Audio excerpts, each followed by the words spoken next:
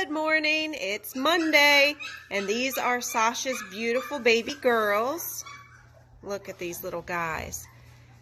She had some gorgeous babies. So these are her little girls. And then over here, we have her three little boys. And they are just as gorgeous too. So this is Sasha's babies. Have a great Christmas.